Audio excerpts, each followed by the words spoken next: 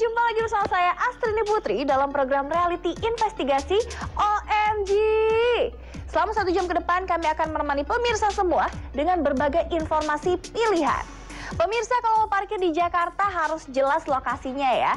Harus ada surat tanda parkirnya juga, baru deh aman. Jangan seperti yang terjadi di Pasar Baru Jakarta ini nih. Tukang parkir ngakunya resmi, tapi ternyata tidak terbukti. Alhasil puluhan kendaraan pun diangkut ke Sudin Perhubungan Jakarta Pusat. Seorang pemuda nekat melompat dari jendela kamar mandi hotel di lantai 2 untuk menghindari razia polisi Pamong Praja. Berhasilkah ia kabur dari razia? Saksikan informasinya setelah jeda berikut ini. Ada-ada saja akal bandar narkoba kecil di Asahan, Sumatera Utara. Panik saat polisi menggerebek rumahnya, ia pun menyembunyikan sabu di dalam penanak nasi. Saksikan info selengkapnya berikut ini. Jangan sesekali meninggalkan barang berharga di dalam kendaraan ya, karena maling sudah sangat lihai membuka pintu mobil.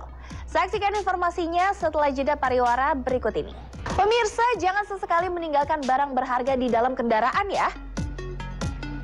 Sebuah rekaman CCTV memperlihatkan aksi para maling spesialis barang dalam mobil yang cukup terorganisir dan lihai berburu barang curiannya.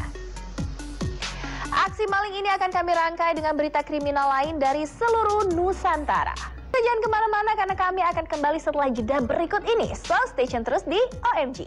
Saya sudah perjumpaan kita hari ini ya. Nantikan info-info menarik lainnya esok di waktu yang sama.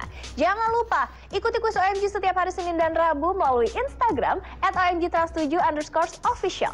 Dan menangkan sebuah paket produk kecantikan menarik senilai ratusan ribu rupiah. Saya Asini Putri pamit undur diri dulu dan tetap waspada karena bahaya selalu mengintai di sekitar kita. Sampai jumpa.